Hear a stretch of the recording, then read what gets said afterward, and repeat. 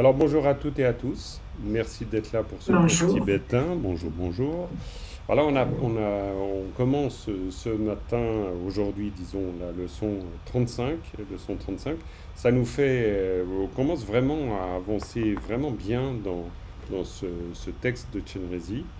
Euh, on arrive en fait à la fin du texte Racine, donc c'est quand même pas la moindre des choses parce que ça nous permet euh, là de couvrir une grande partie du texte. Après euh, cette partie, on abordera les, prières annexes, mais le, texte racine lui-même de la pratique de Thénésie, on l'aura couvert. voilà, c'est une, très bonne chose. On va commencer par une prise de refuge et puis on plonge dans cette leçon.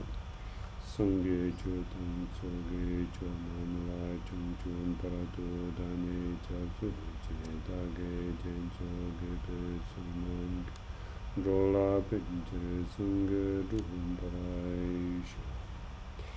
Voilà, alors. Attendez, juste encore une petite chose. Hop. Pour aller encore mieux. Voilà. Tac, tac comme ça. C'est très bien. Voilà, je vais faire un peu d'espace. Je vais peut-être prendre mes lunettes, ça sera encore mieux, je vous verrai mieux. Ah ben voilà, c'est beaucoup mieux. Je me disais bien qu'il me manquait quelque chose. Alors, donc, leçon 35. Leçon 35. Donc, comme d'habitude, le, tibétain, le, mot à mot, une phonétique, la traduction, qu'on va voir ensemble.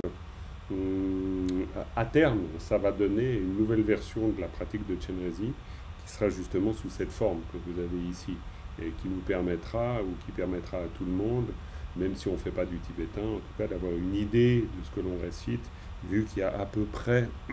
quoi Il y a le mot à mot, évidemment. Alors maintenant, il n'y a pas on ne voit pas forcément les séparations, mais ce sera euh, une aide supplémentaire.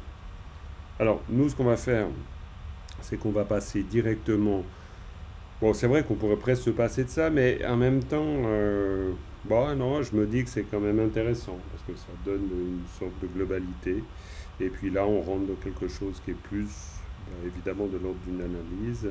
Alors là, on, a la, structure. Cette structure, elle change un petit peu. Alors, je me suis posé pas mal de, questions, vous verrez pourquoi, euh, ce qui m'amène à, proposer ces structures telles que vous les voyez ici. Après, je me suis demandé cette fois-ci si peut-être je devais distinguer, et peut-être je le ferai, allez savoir, euh, les verbes, parce que pour l'instant ici, ce que je distingue, c'est simplement, on va dire, les mots, très global, et puis les particules. Et encore, on pourrait réfléchir à ce qui vraiment est une, est, une particule ou pas. On le verra ensemble d'ailleurs aujourd'hui. Parce que parfois, avec des mots comme par exemple tang, tang à tang, ben, Kezang Gurme, dans le clair miroir, qui est un, grammairien tibétain, lui, il considère que c'est une particule. En tout cas, il classe ça comme une particule. Alors que parfois, dans les classifications classiques, bah, il y a certains usages ou certains mots qui ne sont pas considérés comme particules, alors que les grammairiens modernes vont le considérer comme particule. Bref, c'est des questions que je me pose. Mais surtout, ce qu'on va faire ensemble, c'est donc eh bien, euh, la poursuite de cette euh, analyse. Donc on est d'accord que la dernière fois, on a vu tout ce qui concerne euh, le lamkel, qui est une chose très importante. C'est comment on inclut la pratique de Chenrezi dans le chemin. Donc ça, c'est effectivement bah, forcément un point crucial. Et puis là maintenant, on est dans la dédicace. D'ailleurs, la dernière fois, on a aussi vu une dédicace. Donc là, on voit une dédicace, euh, dédicace supplémentaire, on pourrait dire. Euh, pourquoi? Parce que dans le texte, dans le texte racine, on voit, mais là je vous ai pas mis les yikchung, les petites lettres, mais on voit shenyang, c'est-à-dire qu'on peut encore réciter une autre euh, dédicace qu'on voit ici. Et ensuite, c'est vraiment la fin du texte racine. Bon. Texte racine, euh, clairement, il est beaucoup plus concis que tout celui avec les, annexes, évidemment. Hein. D'ailleurs, je me demande si on a étudié la toute première prière, qui était la prière à la lignée du Mahamudra, Ça, je ne sais pas. Il faudrait qu'on fasse un peu d'archéologie. Je vois Isabelle qui dit non. Donc, je pense qu'on ne l'a pas faite. Donc, on pourra toujours la faire hein, par la suite. Mais c'est vrai que du point de vue grammatical, c'est un, peu moins intéressant. Maintenant, du point de vue de la découverte de, du Kagyu c'est-à-dire de euh, la lignée de transmission, on va dire le rosaire d'or, de la lignée du Mahamudra, c'est intéressant. Bref, on va commencer cette analyse. Alors, comme d'habitude, cette analyse, ben, vous allez vous en charger, puis moi, je vais vous aider à le faire. Alors, qui commence avec la phrase 1 Qui veut se lancer? Oh bah allez-y, ouvrez votre micro, soyez pas timide quand même, on est entre nous. Bah, moi, je veux bien commencer. Ah hein. Ben, c'est très bien. Bon, après, il y a 2000 personnes qui regardent les vidéos sur la chaîne YouTube, ça c'est vrai. Non, je plaisante, rassurez-vous. Ah. Voilà. Mais votre prestation est forcément internationalement euh, reconnue. Bon, alors, c'est moi ou c'est l'autre? Alors, qui est, alors j'ai l'impression qu'Isabelle a dégainé plus vite qu'Annie. Oh, n'importe, n'importe. Hein. Peu importe. Bon. Sinon, je fais, je fais l'autre. Alors, Annie, tu veux commencer? Ah ben, je dire que je veux, c'est beaucoup dire, mais je peux. Tout à fait. Alors vas-y. vas-y, je t'écoute. Avec plaisir. Quoi, on t'écoute d'ailleurs. Euh, Ditar Gomde Gipei Sonamgi. Magnifique. Donc, euh, Ditar, ouais. c'est une expression toute faite complètement. Si, si, tout à fait. C'est pour ça que d'ailleurs, on pourrait, je pourrais très bien. Euh, mais tu as, raison, c'est vraiment une expression toute faite. C'est devenu euh, presque un mot en soi, quoi. C'est comme on peut voir, ainsi. Mmh, ainsi. Euh, gomme, c'est méditer. Oui. Gomme D, alors D, là j'ai un petit trou. Oui. Alors, Gomde, D, c'est la récitation. Alors, c'est intéressant parce que Gomde, c'est une manière d'associer. Alors, de nouveau, on pourrait dire que c'est presque un mot en soi parce que c'est souvent utilisé euh, par copule. Euh, mais euh, Gomde, c'est méditation et récitation. Et donc, on suppose la méditation est sous-entendue. C'est ça. Bah, C'est-à-dire la méditation, en fait, ici, Gom, c'est clairement la méditation. Par contre, D, c'est clairement la récitation. C'est un mot, D, c'est un mot assez complexe parce que ça peut vouloir dire aussi au-delà. Euh, il peut y avoir, euh, quoi vous voyez, quoi vous verrez plutôt dans le support. J'ai mis des notes assez copieuses, toujours tirées de, de Tony Duff, l'Illuminator, ou pas que, des fois il y a d'autres sources, euh, mais où il dit des choses intéressantes par rapport à D, je crois. Mais bon, Gomde, méditation, récitation. Euh, Gipa, c'est faire. Oui, tout à fait. Gipa. C'est un usage ancien, mais c'est un mot assez courant, finalement, pour dire faire. Et avec un petit génitif, Oui, tout à fait. Il va donc euh, relier à la suite, ou mhm. la suite est reliée à tout ça. Oui, tout à fait. Et donc, euh, la suite, c'est ce, ce nam, c'est le, le, mérite, oui. Euh, que je ne sais pas décomposer le mot, là. Alors moi non plus, en fait. Je suis tellement habitué à le voir tel quel que je ne le décompose pas. On pourrait certainement le décomposer hein, si on avait envie, mais euh, ce nam, on peut le traduire en tout cas par mérite, voire on peut le traduire par richesse intérieure, ce qui est aussi intéressant. Pourquoi pas? Oui, mais là, là ça ne dirait pas. Euh, oui, en tout cas, mérite, c'est, ça a le mérite, le mérite de nous faciliter la vie. Donc gardons-le comme ça. Par, par le, la richesse intérieure développée euh, au cours de cette méditation, méditation, pourquoi pas? Mais bon. Tout à fait. Alors vraiment, pourquoi pas hein, Ce qui reviendrait effectivement du point de vue du sens à peu près la même chose. Mais on pourrait dire le mérite. En tout cas, c'est le sonam. Sonam, c'est un mot euh, très intéressant parce que sonam, c'est une question de. On pourrait dire on est doté du point de vue tibétain, on est doté de sonam ou on n'est pas doté de sonam. Ça pourrait presque être parfois un équivalent avec la, être un équivalent de la chance ou la baraka, ce qui serait encore plus, euh, euh, plus imagé. Pourquoi? Parce que quelqu'un qui a du sonam, c'est quelqu'un à qui tout réussit. Quelqu'un qui n'a pas de sonam, c'est quelqu'un à qui tout échoue. Donc, on va dire. Pardon, qu'as-tu dit? Je n'ai pas entendu redivoir. Il a un bon karma. Un Celui bon karma, complètement. Un bon karma. Tu as tout à fait raison. Un bon karma. Et d'ailleurs, le sonam donc provient bien sûr des actes et de pas autre chose. Donc c'est clairement un résultat du karma. Là, il n'y a pas de doute.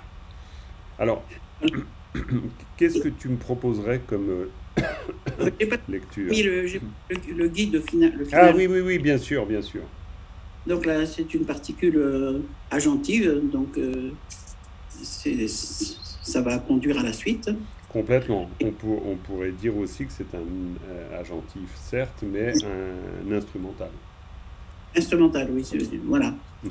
Donc, ben, c'est tout, tout simple. Là, c'est par le mérite euh, dû à la pratique de cette euh, récitation-méditation. Tout à fait. Alors après, donc, euh, si on veut essayer de, de faire cet exercice qui est, qui est, à mon avis, intéressant et qui consiste à essayer de lire dans le texte même au moment où on récite, on pourrait se dire ainsi, par cette méditation et récitation, euh, ce sonam qui est fait, ce mérite qui est fait, produit ou fait que... Et ce qui est fait, c'est c'est le, c'est la méditation qui est faite. Ah, et bien alors là, en fait, ici, c'est clair que le Kayataka Ah. Geguki, il est l'instrument, c'est la marque de l'instrument, on est bien d'accord. Mais vu qu'il est collé après ça, donc après tout ça, on pourrait très bien considérer que c'est ce sonam accompli, ce sonam qui est fait, du fait de la récitation et de la méditation, c'est tout ça qui va devenir l'agent. Oui, ça, ça, je suis bien d'accord. Hmm. Mais euh, ce et ce qui est fait, c'est- c'est la méditation. Le, le mérite, c'est ce qui résulte en somme, quand même. Oui, c'est euh, tout à fait. Si on considère, tu as, raison, déterminant, déterminé, et clairement, c'est un déterminé euh, qui est déterminé par cette action de la méditation et euh, Oui. de la récitation. Tu as tout à fait raison. Donc, on pourrait dire le mérite résultant de. Voilà. Tout à fait. Tu le voyais pas comme ça? Ben si, justement. Oui, ok, d'accord. Oui, ouais, très bien. C'est peut-être moi qui suis un peu confus. Non, non, mais parfait. Si tu le vois comme ça, je crois que c'est tout à fait juste. Oui, oui. Parce qu'on a toujours ce rapport. Alors là, pour vous, euh, quoi, pour vous, pour nous tous, mais c'est toujours un bon rappel. C'est-à-dire que le génitif ici, hein, si on, le mets comme ça, c'est toujours son rapport, le fameux classique rapport entre déterminant et déterminé. Ça, c'est une importance. Ah, je vois que arrive quelqu'un Quelqu'un, quelqu'un, bonjour, bonjour Cathy, bonjour Cathy, Oui. bienvenue, bienvenue, bienvenue, Bonjour. super. Voilà, très Oui. bien, parfait, tu as retrouvé les codes, tout ça. Donc bienvenue. Oui, merci beaucoup. Mais pas de quoi. Euh, on est bien d'accord qu'on est là dans le, dans le, le- le cours d'analyse de texte avec Chenrezi. Hein ok, très bien. C'est Oui, juste une oui. petite question toute bête, vu qu'après, il y a le cours lecture. Euh, C'était juste pour préciser. Parfait. De toute façon, je le rappelle encore à tout le monde, si vous voulez passer d'un cours à l'autre ou même faire les deux, vous avez toujours la possibilité. Bref, alors, ben, parfait, euh, Annie, je crois que là, euh, tout est bien dit et tout est juste. Donc, je vois pas d'autres difficultés. Et là, peut-être la, la chose intéressante, éventuellement, c'est la construction ici. C'est-à-dire que vous le verrez dans les notes du support. Alors, par contre, petite question pour Cathy, j'y pense tout de suite. Euh, Oui. euh, Est-ce que tu as reçu le support PDF ou pas? Peut-être pas. Euh, oui, oui, si, si, tout à fait. La Ah, leçon, euh, donc là, 35. La 35. Ah, c'est parfait. Donc, ça va très bien. Donc, Merci. i- bah, pas de quoi. Ici, donc, des. Des, c'est la Ah. forme passée euh, du, du, du verbe. Alors, il y a une petite astuce, là, tout à coup, je l'oublie, mais qui fait que, en général, quand on prend des mots composés, je ne me rappelle pas de la règle exacte, mais on prend une des formes verbales. On ne prend pas forcément la, forme verbale du présent. On prend, la forme verbale euh, du, passé. Mais attention à ce point théorique, il faudrait que je le vérifie. Je n'en suis pas complètement certain. Mais euh, on pourrait aussi imaginer, c'est une autre interprétation possible, qu'on parle vraiment d'une chose, ce qui serait assez logique, mais d'une chose qui est faite, c'est-à-dire de la méditation qui est faite et de la récitation qui est faite. C'est clair. Une autre chose qu'on peut dire sur Gomde, pour euh, complé- com- compléter la- l'analyse, c'est qu'au début de la pratique, on peut très bien dire Dagi, euh, attention, au début, dans la première prière, dans la prière du refuge et du développement de l'esprit d'éveil, Il y a aussi la possibilité, dans certains textes, comme ce ferreur au Bost, on l'utilise comme ailleurs, euh, c'est de dire, plutôt que de dire dagi jinso, c'est de, dire dagi gonde. Et Oui, le je- c'est celui-là ici. On en avait parlé une fois. euh, Oui. C'est la version privilégiée par le commentaire du 15e Karmapa, Katyab Dolge, où il dit précisément gonde. Jinso voulant Mm. dire les vertus donc de générosité et les autres. Bon, voilà. Mais ici, on parle de Gomde. Donc là, on reprend ce terme de Gomde. Voilà. Bah, Germain oui, oui, Germain, est-ce que tu pourrais l'épeler gomme, enfin pas gomme, mais des oui, bien sûr.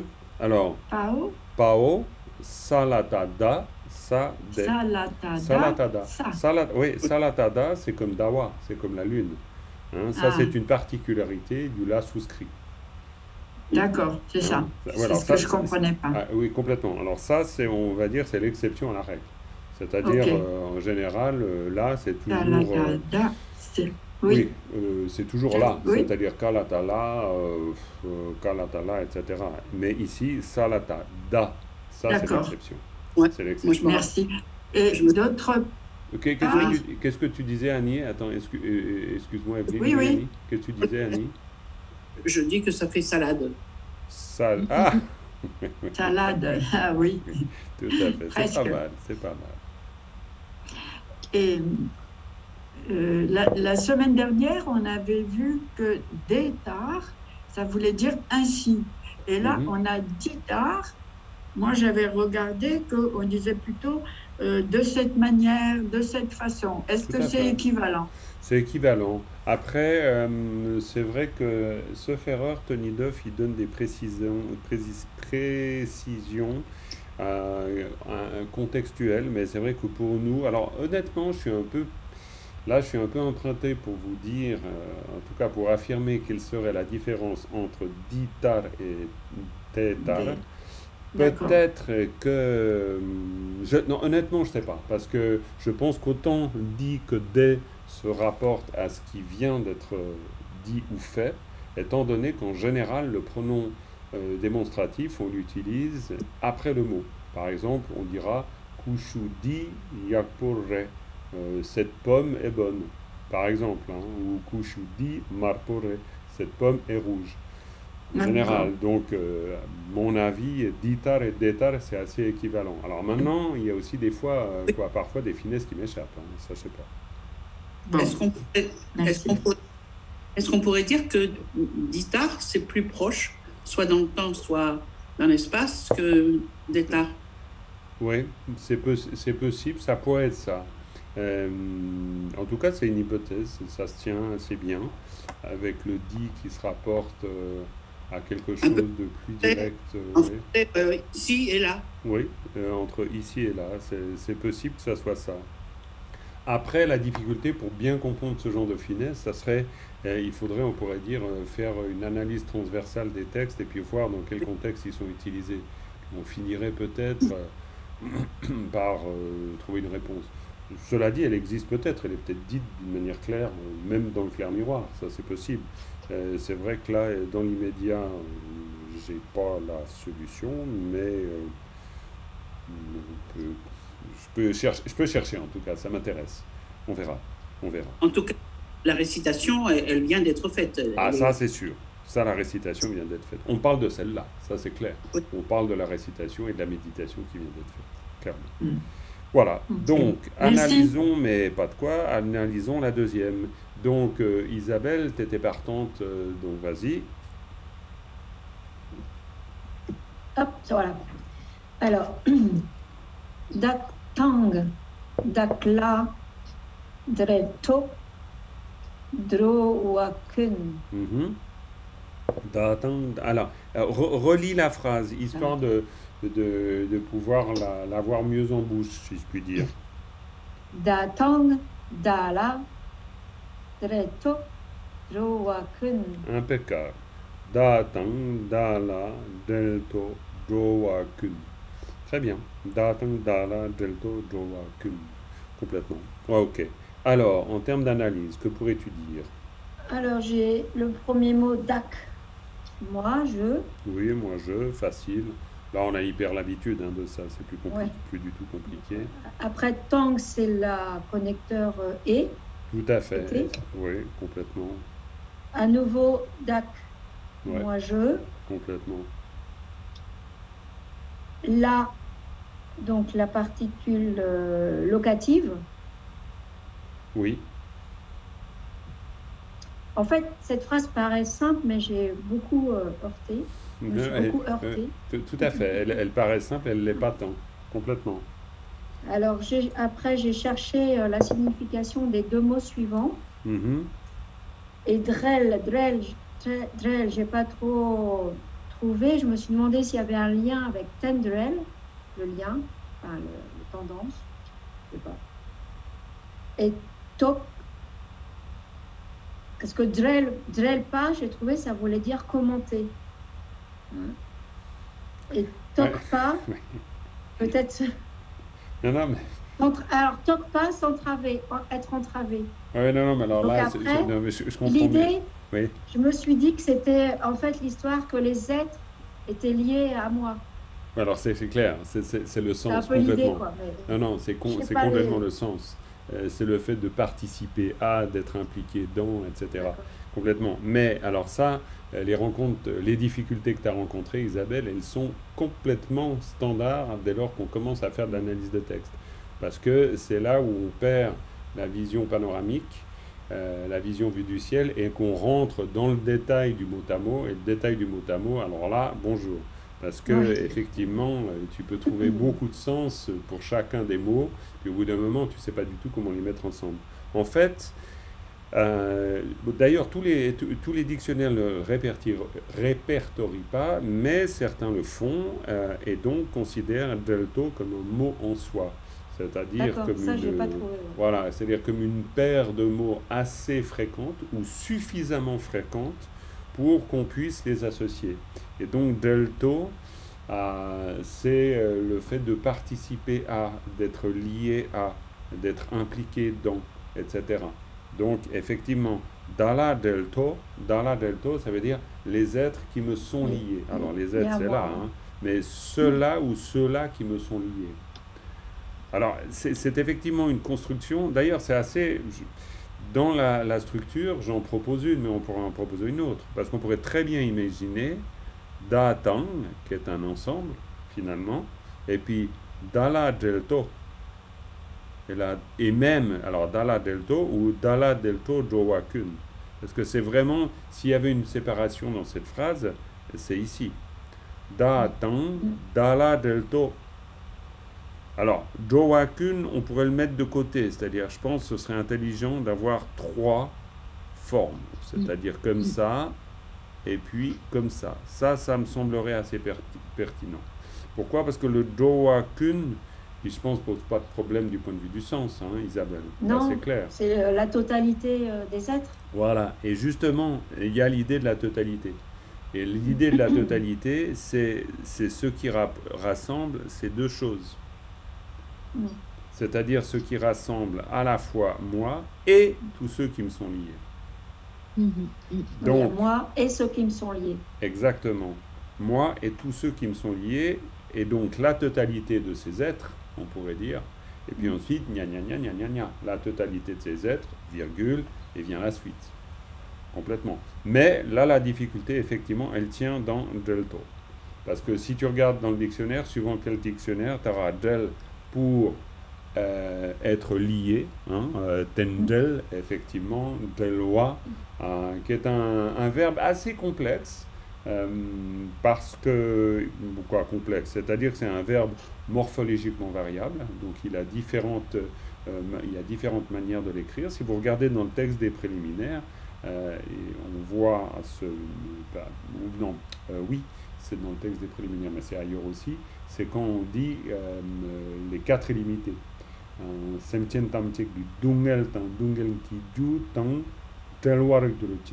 Donc on écrit euh, le, fait d'être séparé d'une manière différente en fonction des circonstances, quoi. Logique, étant donné qu'on va utiliser les différentes formes du, du verbe. Donc voilà, bon bref. En tout cas, ça peut vouloir dire lien, ça peut vouloir dire être séparé, ça peut vouloir dire dans certains contextes, ça peut vouloir dire euh, lié, donc euh, quoi plutôt lié en fait. Bref, voilà. Mais en tout cas, après, si tu essayes de rendre cette phrase dans un français à peu près, tu dirais comment? Alors je dirais donc, euh, bah, du coup, moi et tous les êtres, euh, et la totalité des êtres euh, qui me sont liés. Exact, moi et la totalité des êtres qui me sont liés. Et puis tu aurais tout à fait raison. Ça me semble Et- très bien. Complètement. Je vois pas d'autres difficultés. Bon, euh, Non. c'est du classique, hein, euh, vraiment. Jowa qui à la fois veut dire euh, quoi? À part Les êtres? Oui, mais à part les êtres, ça veut dire quoi? Allez, oh, je sais pas. Allez, Ah, ah, oui, oui, oui, oui, Ah, oui, oui, oui. Si, si, si, il y avait un petit doute de ta part, mais tu as pas eu, tu n'as pas eu raison de douter. Ça veut dire aller, oui, bien sûr. allez. Et pourquoi ça veut dire aller? Euh, Plutôt, pourquoi utiliser ce mot-là Ah, c'est parce que c'est euh, peut-être quelque chose qui se meut, qui, qui bouge. Exact. Nous sommes ce quelque chose qui se meut et qui bouge. C'est pour ça que les Joa sont les êtres. C'est-à-dire, ce sont les migrants. Une manière de, une, une manière de les eh, de traduire le mot, ce serait de parler des migrants, les migrants qui prennent refuge et qui cherchent refuge.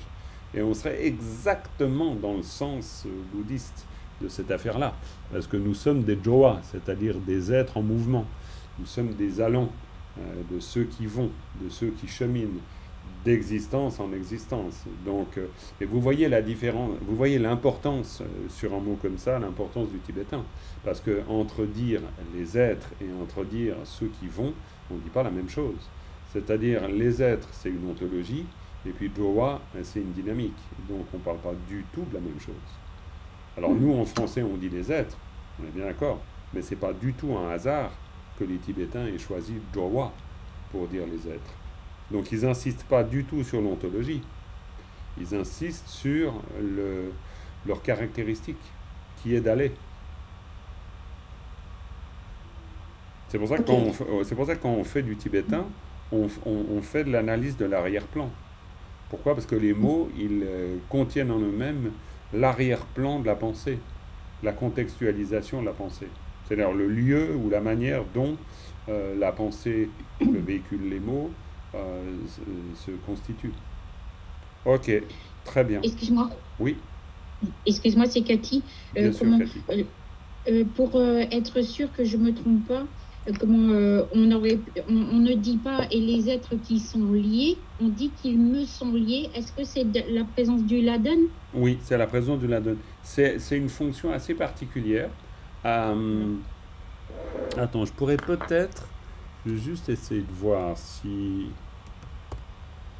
Alors, je vais juste essayer de voir si j'ai... Si vous avez deux secondes, je peux essayer de retrouver... Je vais essayer de voir ça. Alors...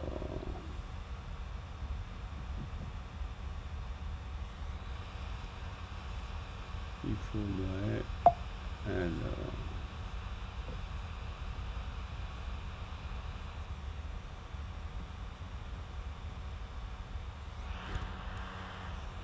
Euh, euh, euh, euh.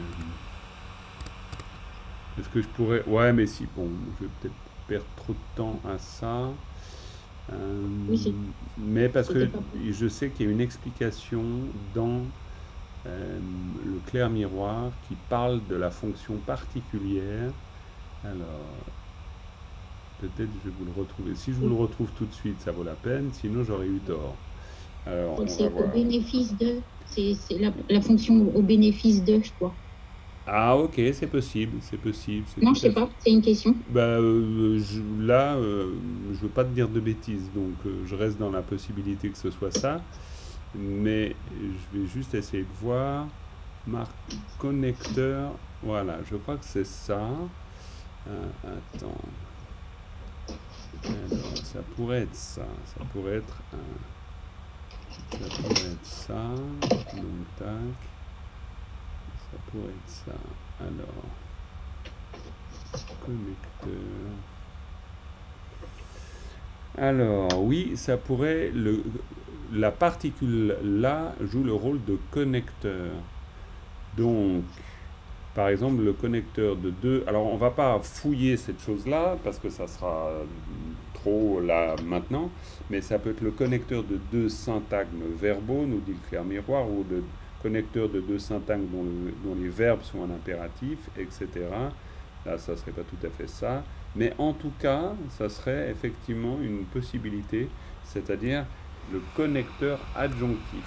Donc, manière de dire et, en fait. Donc, quand on dit dala delto, les et les, les êtres qui me sont liés à moi. Alors, on pourrait dire les êtres qui me sont liés à moi, mais aussi mes êtres, d'une certaine manière. Quoi. Bon, les êtres liés, les êtres liés à moi. Mais bon, du point de vue du sens plus basique, à partir du moment où on dit dala, ça veut dire vers moi, hein, si on prend la particule dans son sens propre, donc vers moi, et puis les, donc ce qui est lié à, donc ce qui est lié à moi. Quoi, voilà. Ok. Mais je sais qu'il y, y, a une fonction particulière du là. Euh, mais bon. Ensuite, donc, qui euh, nous propose l'analyse de la troisième phrase? Je veux bien. Mais ben, super, vas-y Evelyne. Alors, Mitsang Ludi Matak. Parfait. Alors attends. Redis voir un peu cette phrase. Mitsang Ludi. Mitsang Ludi Matak. Très bien. Mitsang Ludi Porwa Durmatak. Ouais. Alors, et ici, idéalement, pas parce que c'est un oui. ta. Attention, pas pas, mais ta, parce que c'est un expiré. Ta. Ta. Ta. D'accord. Ok. Mais ça me dit ta. Ok, très bien. Alors, vas-y. Alors, moi, j'avais, j'avais travaillé déjà un peu avant, mais j'ai eu du mal un peu. Là, je vois que toi, tu le dis pas. J'avais, je disais que euh, pour moi, il y a le rat là qui pour moi était une particule. Ah. Et c'est pas le cas? Ah non, c'est pas le cas. Pas le cas. Et non, alors ça c'est un piège magnifique. Hein. Ça c'est un piège total. Je suis ah, tombé dedans à pieds joints. Ah ben ouais, non mais ça c'est clair. Moi, je, cela dit, euh, je suis toujours très méfiant quand je vois ce genre de choses, tu vois. Mais euh, non, écoute, si je ne me suis pas trompé, non. Dans le... Mais alors, une, une indication, une indication. C'est le fait qu'ici on est le wa. Ça, c'est une bonne indication quand même. Pourquoi? Parce que euh, ce serait difficile d'imaginer, quoi même impossible carrément, bon là je peux être affirmatif, d'imaginer un wa, si le wa est la particule finale du verbe por, c'est impossible que dans ce cas, euh, il puisse y avoir un datif locatif entre les deux. Ça, c'est pas possible. D'accord. Parce que ce serait, dans ce cas, por war et le ra serait ici et non pas ici. Donc voilà. Et puis à part ça, c'est un verbe. C'est-à-dire que quand on regarde dans le dictionnaire, on a effectivement porwa. D'accord. Ça, c'est sûr. Ok. Alors, euh, moi, j'avais remarqué que mi était euh, la, marque de la négation, mhm. que tang était, voulait dire pur. Donc là, on est quelque chose de non pur, c'est impur. Impur, sale, hein, ça a vraiment les deux, euh, les deux sens. Sale, c'est un, peu, un peu dérangeant comme mot, mais euh, mitsang, euh, c'est clairement, hmm, disons en tibétain, c'est quelque chose non seulement d'impur, mais quelque chose de sale, de, de qui n'est pas propre. Donc, tsangma, si on dit tsangma, c'est pour dire propre. Hein, tsangma, tsangtiang, c'est vraiment, c'est propre. Oui. Dans, dans, la langue parlée aussi. Hein. Donc, euh, Tsangmare. Donc, Mitsang, impur et sale. Ok, ensuite. Le, c'est le corps. Oui, très bien. Alors, euh, dit dans ce cas, est-ce que euh, on va parler de ce corps-là Oui, tout à fait. Parce que souvent dans la construction, c'est un mot ou un groupe de mots et puis le dit. Hein. C'est comme ça, en général. Ça, ça c'est une, structure assez classique. c'est-à-dire de mettre le di qui suit le mot dont on parle. Hein, euh, kushu di, kupkya di, hlakang di, etc. Mais ça veut dire que dans l'ordre de la phrase, ça compte, parce qu'on pourrait aussi le mettre parfois au début.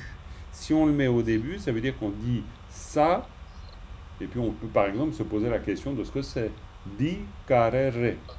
Hein, la fameuse phrase c'est quoi?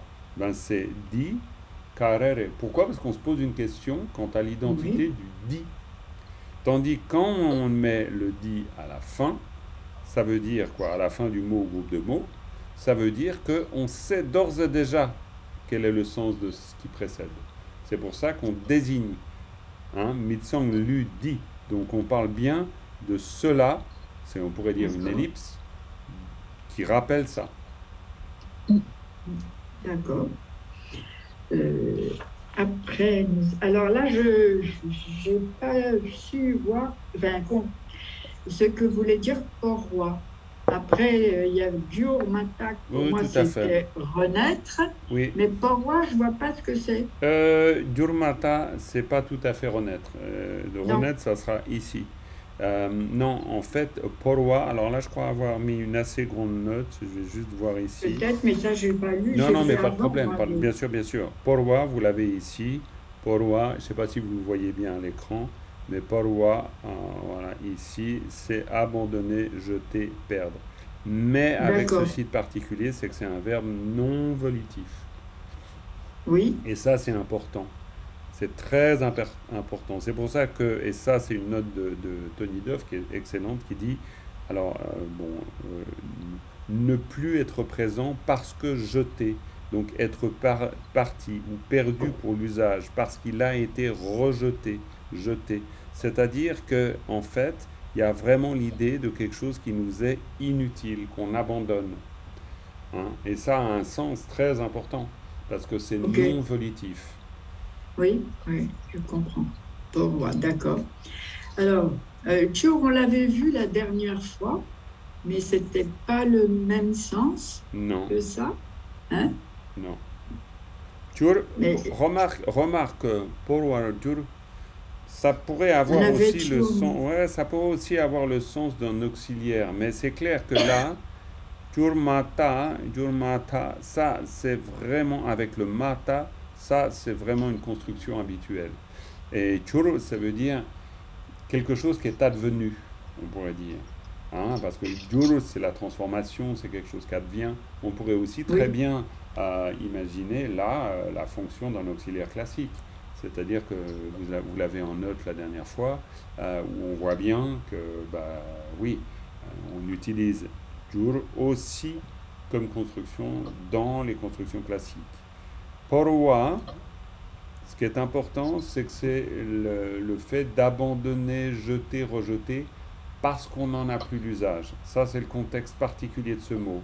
Donc ça veut dire que Mhm. ce corps impur ou ce corps, ce, ce corps très ordinaire, une fois, dès à l'instant même où on l'a abandonné, mais il faut être prudent là-dessus parce que euh, vu que c'est un verbe non volitif, quand on Oui, dit oui. abandonner, nous en français, c'est un verbe volitif. C'est-à-dire j'abandonne. Je dois donc décider d'abandonner.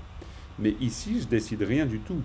C'est-à-dire c'est un verbe non volitif. Ça veut dire qu'au moment de ma mort, que je le veuille ou non, euh, ce corps Je quitterai ce m'abandonne. corps. Hmm. Euh, oui, si ce n'est que, évidemment, alors ça c'est la compréhension du sens, ce qui est tout à fait logique, mais avec euh, cette particularité du tibétain qui insiste sur le caractère non volitif. Parce que je Mhm, quitterai, quand je quitte, c'est volontaire. Quand j'abandonne, c'est volontaire. Hein, je ne peux Mhm. pas abandonner non volontairement, je ne peux pas quitter non volontairement. Oui, Je peux pas, je peux pas, je peux pas jeter non volontairement. Tout ça sont des, des mots en français où on a une, une, une- une décision. Là, on n'a pas de décision. C'est pour ça que c'est quelque chose que je perds, on pourrait dire. Mais le mot veut pas dire perdre. C'est juste qu'il faut se souvenir du sens de, tu vois. On pourrait dire aussitôt Que- aussitôt que ce corps m'échappe, d'une certaine manière, ça rendrait, alors je ne dis pas qu'il faudrait le traduire forcément comme ça, mais ça, ça, ça rendrait plus présente cette dimension du verbe non volitif. Parce que c'est vraiment un, un corps que j'abandonne parce qu'il n'en a, a plus l'usage. Oui. Mais ça se défait. Il y a vraiment l'idée de se défaire de quelque chose, un peu naturellement. C'est vraiment l'enveloppe, c'est la mue du serpent, pour le dire, pour le dire comme ça. C'est la mue du serpent qui part d'elle-même. D'accord. Mhm. Voilà. Très bien. Sinon, je crois que tu as tout compris. Mitsang lui dit, voilà, Mitsang, bon, parfait. Ça, c'est construction classique. Hein. Oui, oui. Plus difficile, d'accord. Bon, bah, c'était facile cette phrase, Evelyne. Comment? C'était facile cette phrase. Ça ça t'a pas donné beaucoup, de, donné beaucoup de, de, de fil à retordre. Bon, bah, Euh, ben, J'avais cherché un peu avant si ce Paoua, là, ouais, le porwa, ouais, bien sûr, avec ce Voilà. petit piège, ce petit piège avec le rat. Oui, bon, c'est vrai qu'il y aurait Mais bon. ça. Bon, bah, tu t'en es sorti magnifiquement. Alors, euh, Ah, maintenant. Comme tu dis, c'était pas difficile alors. Non, non, non, mais attention, je minimise pas l'effort. Hein. Non, non, je minimise pas l'effort. Non, non, l'effort est toujours présent. hein. Non, non, non, non. Euh, non, non. Non, non, je me disais juste que tu mériterais une phrase qui t'apporte plus de défis que celui-là, que celle-là. Oui, la prochaine fois alors. Voilà, t'en prendras une, particulièrement euh, tordue. Voilà, alors maintenant. Oui, c'est ça. Ok. Alors maintenant, euh, la phrase 4. Qui veut bien la faire Il y a Sylvie qu'on n'a pas entendue. Il y a aussi Nathalie qu'on n'a pas entendue depuis longtemps, Nathalie. Il me semble quand même, comme Claudine d'ailleurs aussi, il me semble. Alors voilà, ben, vous en avez encore trois. Hein. Une, deux, trois. Donc là, Bon, allez, je me- je me lance. Allez, vas-y, Nathalie. Alors, Dewachen tu euh, Sute Kiewasho. Très bien. Dewa Chen Tu Chen Tu. Zute Kiewarasho. Impeccable. Alors, euh, bah, Dewachen, ça, ça forme un. Ah ouais. un- Euh, tu, c'est une particule. Oui, la- laquelle? Juste pour savoir. Euh, c'est un latin, c'est. Oui. C'est donc, euh, ça montre l'incidence. ou- Oui, très bien. Ouais, voilà. Ouais. C'est par exemple une marque de quoi? Une marque de d'un lieu, ça pourrait D'un être lieu, Oui. ouais. d'un lieu, ouais. ouais, une Oui. localisation complètement. Mhm. Ouais. Euh, alors ensuite, euh, Ah, ça, ça, ça, c'est ça, oui. Alors ça, oui, ça c'est le morceau là. Ça, Ouais. c'est- ça c'est oui. Parce que ça c'est une expression carrément. Donc c'est un peu. ah oui, Donc euh, c'est un peu difficile parce que si tu fais du, mot à mot là, hmm, alors c'est euh, c'est c'est qui est alors euh, mais cela dit, tu peux hein. C'est Ouais. intéressant. C'est ah ouais là je suis un peu perdue là. Ouais, je comprends. Alors, alors attends, on va, on va prendre déjà les, Bah, on va prendre déjà les éléments, Nathalie, où t'es pas perdu. C'est-à-dire qu'il me semble que Bah, il y a ça. une particule quand même. Alors là, il y a une particule. Donc ça, c'est un point repère. Ça, c'est important. Ouais. Ça, c'est important. Et puis après, on a quand même Kiewarsho. Hein. Donc ça, peut-être que Kiewarsho. tu, tu sais déjà ce que ça veut dire. Ben, Kiwarsho, c'est euh,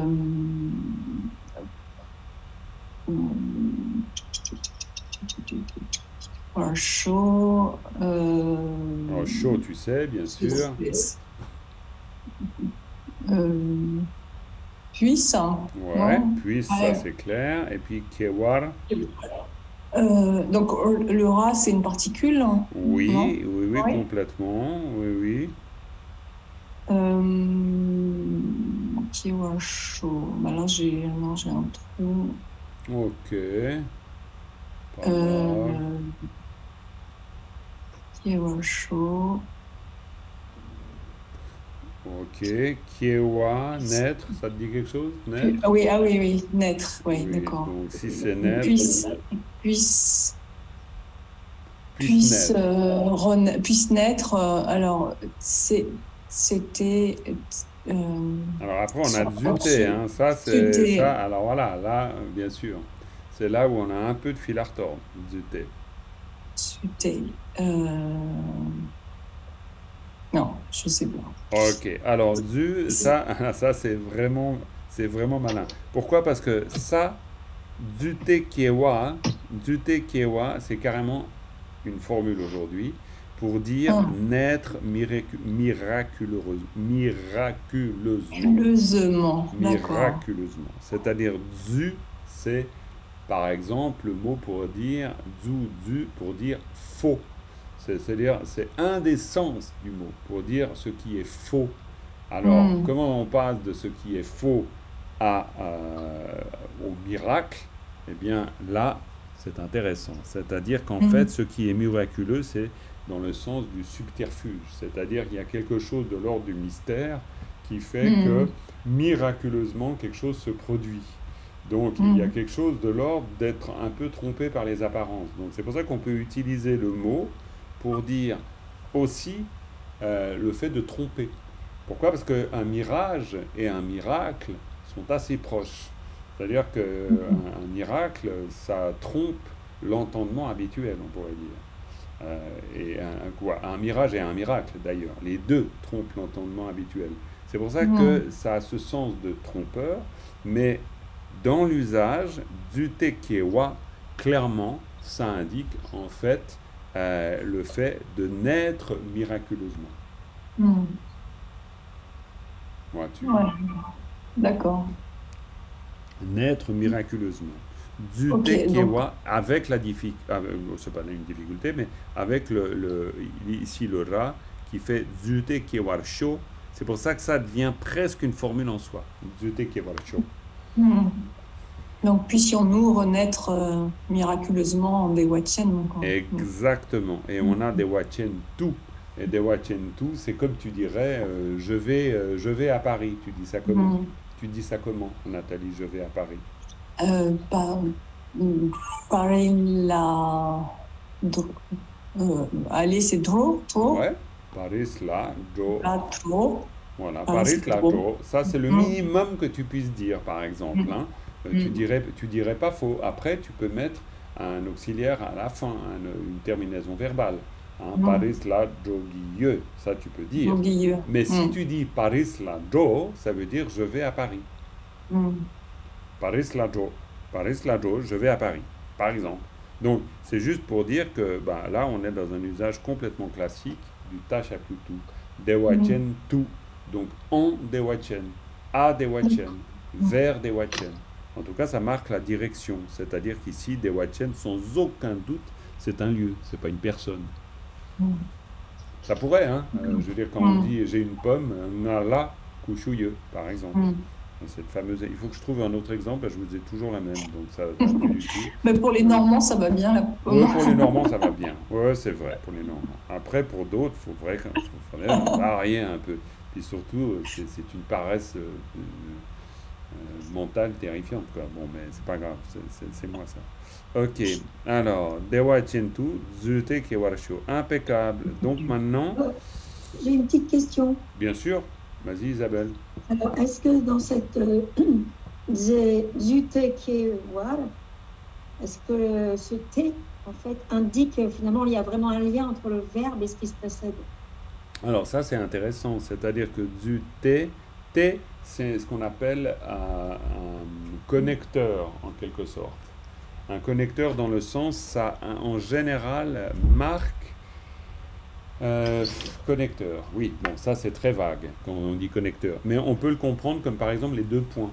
hein. C'est une particule qui peut nous per- permettre euh, l'emphase, par exemple, ou les deux points, la définition. Donc du T, c'est aussi un connecteur dans le sens où ça euh, indique deux séquences dans une action. Par exemple, du T, Kewa. Ça veut dire par, euh, miracle, il est né. Hein? Du T, Kewa. C'est-à-dire qu'on prend deux verbes et puis on les colle l'un à côté de l'autre pour dire que l'un précède l'autre. C'est-à-dire, il y a du du pour qu'il y ait du qui est. Hein? C'est-à-dire, il y a un aspect miracle qui fait la naissance, on pourrait dire. hein. Donc, euh, c'est comme ça qu'on pourrait l'analyser. Le T, est- c'est très intéressant comme particule. Ça a plusieurs formes. Sa, ta, ta, ta d'embouté, ta d'embouté, mais c'est un connecteur. Euh, C'est intéressant. Oui, Cathy. Jean-Marc, excuse-moi de te déranger. Euh, tu es d'accord que on n'a pas mis A, Aota Gigouti, on n'a pas mis Ti, parce que là, il- le T ferait référence plutôt à, à quelque chose qui, qui va advenir, enfin futur, enfin qu'on y renaisse. euh, Oui, alors, alors cette forme ta débouté, ça, c'est très différent que par exemple cette forme-là. hein. Donc euh, ça, c'est vraiment le, le pronom démonstratif. Et puis ça, c'est aussi le pronom démonstratif. Donc, clairement. Donc là, cette forme ici, ta débouté, elle est vraiment réservée à la forme du connecteur. C'est c'est pas du, c'est vraiment, on va dire, une, une, une particule répertoriée. C'est pas un pronom démonstratif. C'est pour ça que ça n'a pas le la même fonction. Ça désigne Oui. pas cela, par exemple. Oui, on pourrait pas dire. C'est vraiment quelque chose qui marque une séparation entre, par exemple, tu pourrais dire, euh, je ne sais pas, euh, euh, aller quelque part en chantant et en sautillant. Oui, oui, tout à fait. Excuse-moi, c'était plutôt lié euh, à la notion de temps. Je croyais que, Ah, que T, en fait, évoquait également plutôt un, soit un passé, un futur, ou soit, et le type, plutôt un présent. C'est-à-dire, je n'y renais pas tout de suite, mais je, ouais. voilà, je, je, je voudrais y renaître euh, ben, c'est-à-dire peut-être une distinction. Y a-t-il, est-il exact qu'on peut avoir une distinction entre T et Oui. Ti Oui, tout à fait. Ça peut, ça peut marquer, euh, ça peut marquer une, une- C'est pour ça que je disais avant que ça pouvait marquer des séquences, c'est-à-dire euh, une- dans le temps, effectivement, là ça précède et là ça suit. Ça c'est tout à fait possible. Dans certains contextes, on s'en sert de cette manière-là, complètement. Merci. Ouais. D'accord. Alors ensuite, on a la phrase 5. Alors la phrase 5, qui l'a fait Claudine a levé la main. Bien. Eh bien, c'est super. Vas-y, Claudine. Euh, euh, J'active le son, ça va être plus simple. oui, Alors, avec le son, euh, c'est beaucoup mieux. ah, c'est mieux. hein. Oh, beaucoup. Donc, euh, Kiemataktu, Sachu, Très bien. Rabdelné. Alors maintenant, il n'y a pas besoin de dire tu, c'est Chu, ça Chu, chou, Sachu. ça chou. Tout simplement, ça chou. Ah. Ouais, ouais. Impeccable, ça chou. Alors, euh, est-ce qu'on repère d'abord les particules? Tout à fait, c'est très bien. Donc, moi, je fais le tout, Ouais, un impeccable. laton, Oui, un laton, datif, locatif. très bien. Et puis, euh, né, qui est Oui. un kunku, un ablatif. Oui, Chungkung, c'est bien. En plus, tu connais les mots euh, en tibétain pour le nom de ces particules, ce qui est une J'ai bonne j'ai plus de mal avec les autres appellations, ablatif. Ah non, non, non, mais alors écoute, moi tu me dis, moi tu me dis Chungkung Keda, Chungkung Keda, ça va très bien, hein, Chungkung Keda, c'est très bien, hein. Ablatif, euh, non, non, mais tout à fait, non, ça c'est égal. Ce qui est important, c'est de connaître la fonction, hein, de toute manière. D'accord. Alors, moi, je re- je- j'ai tendance aussi à repérer les verbes. Mhm, c'est très bien. C'est pas tout à fait dans le sens du. Donc, euh, dre, Ouais, comme à la fin, juste avant le tunku. Ouais, voilà. Donc, parcourir. hein. Comme ça. Voilà. ouais, entre autres, oui, tout à fait. Voilà. Et alors, après, par rapport à hum, Kiematak, Ouais, euh, donc, euh, j'ai regardé là dans le vocabulaire, toi tu traduis par immédiatement. Est-ce qu'on peut dire c'est né sans distance? Qui est c'est né? Naître Être né ou pas? Oui, être né. Donc, ma, ça serait la, la négation. Mhm. Tac, la, si on met la distance.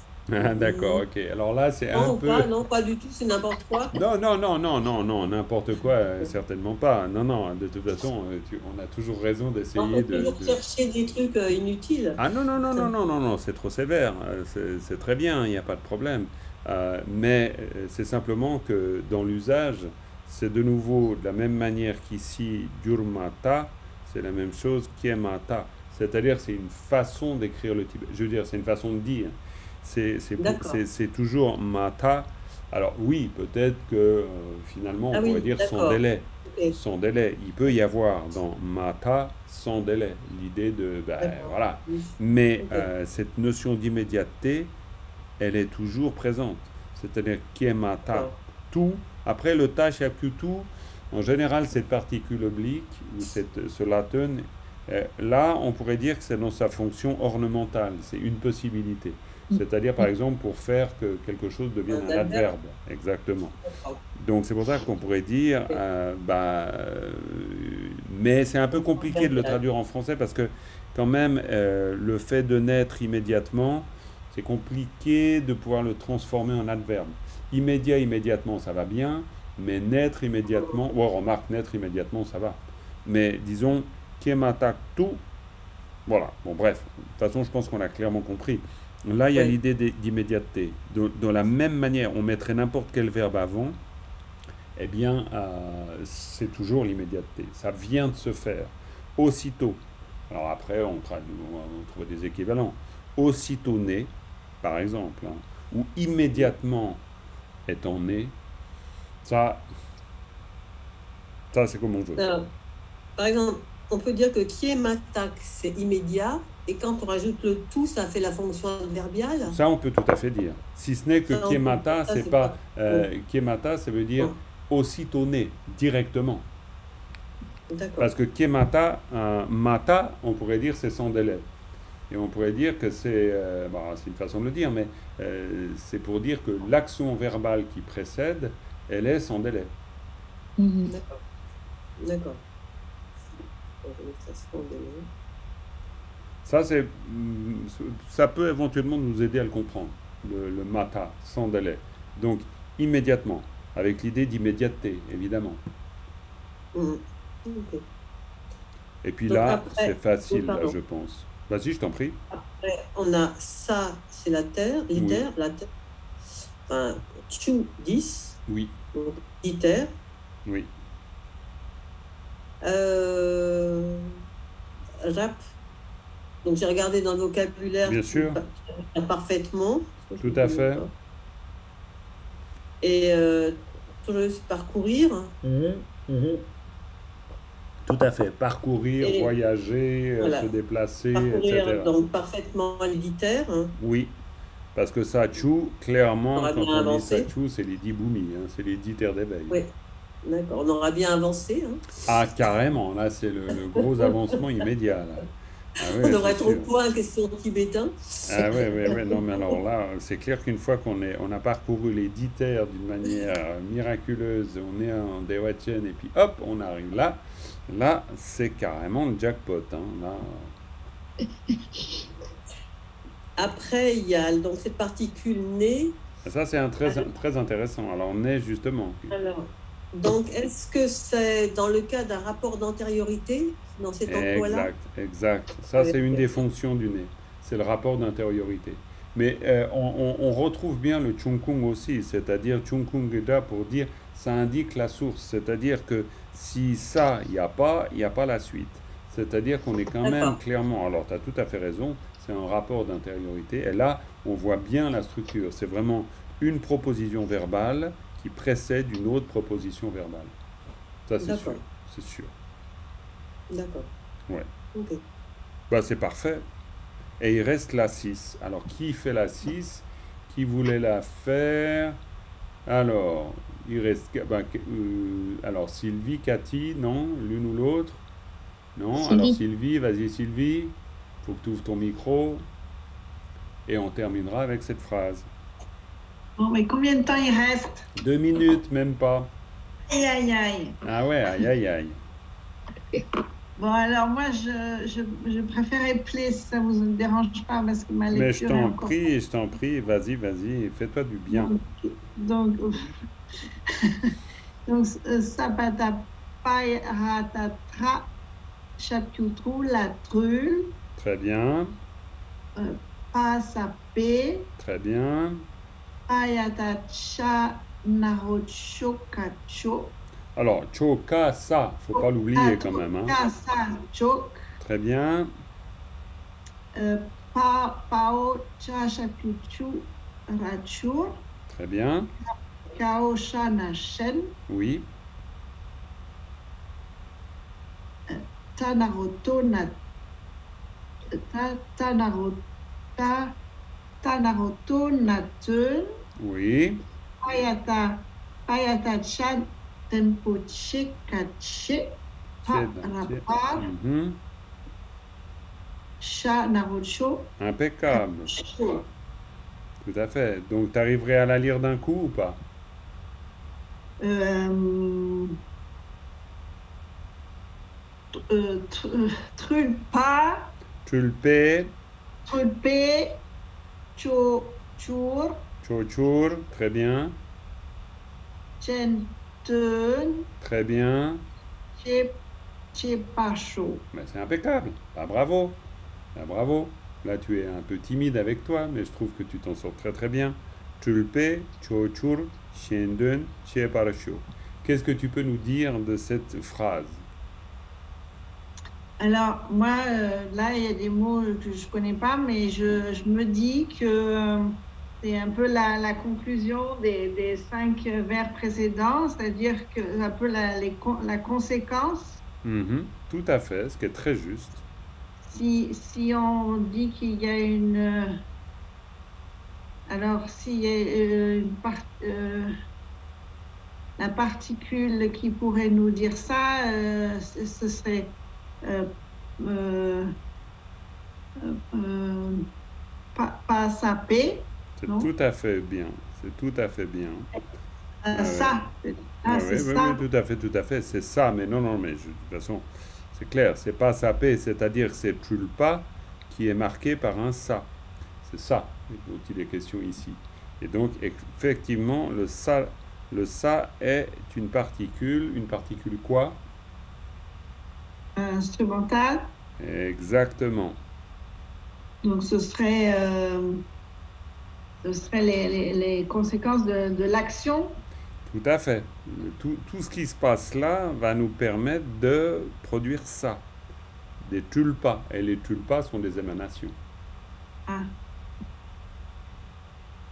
Ok. Et, et, à la, et à la, donc à la fin, il y a la show, donc c'est puisse, donc euh, c'est voilà, puisse, euh, tout ce qui est avant puisse. Tout à Et fait. donc le verbe doit être, euh, ça doit être par Oui. ou, ou Le verbe, c'est. Alors, Ouais. Tchepar, c'est. Euh, euh, Tchepar, c'est.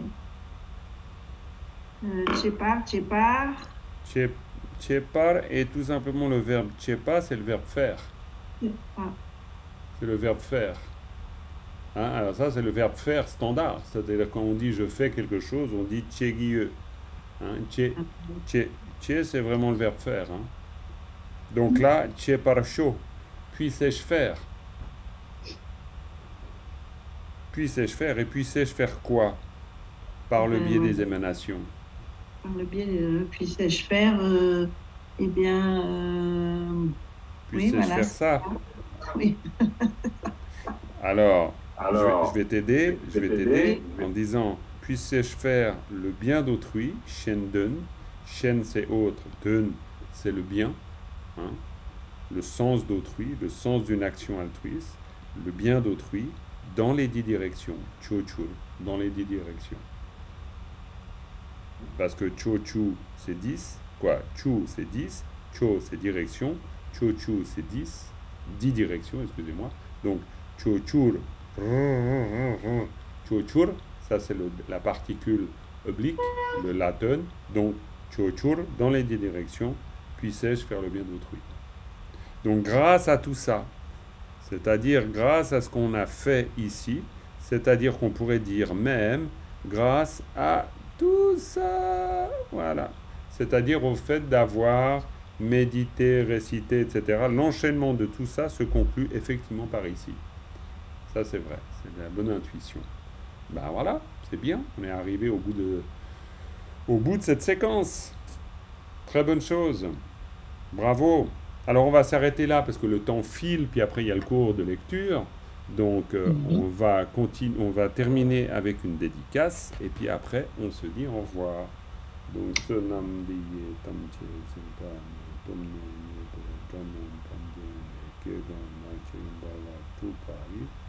do wa isho. Voilà, une dédicace parce que mine de rien, en faisant du tibétain, on fait quand même pas mal de dharma et c'est une très bonne chose. Euh, voilà, donc merci beaucoup. Je vais arrêter l'enregistrement. Et puis après, on pourra se dire encore au revoir. Alors voilà pour l'enregistrement. Je l'arrête ici.